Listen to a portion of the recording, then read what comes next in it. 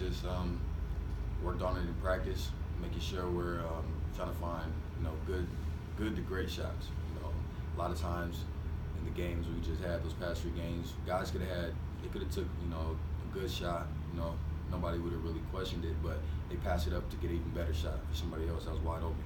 And just having that mentality has really helped us. Um, you know, the first three games of conference, and we just keep practicing that, practice every day, and uh, it translates.